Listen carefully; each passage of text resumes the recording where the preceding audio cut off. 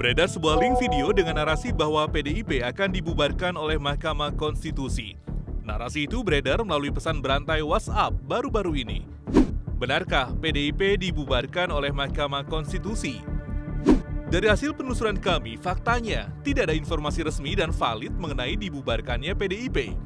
Kami menemukan video sebenarnya diunggah oleh kanal YouTube 651 Safa pada 21 Januari 2021.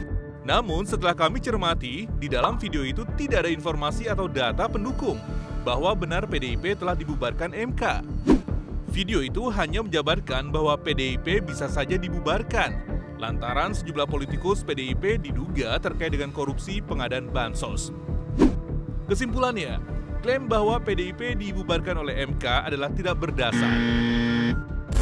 Faktanya, tidak ada informasi resmi dan valid mengenai hal itu.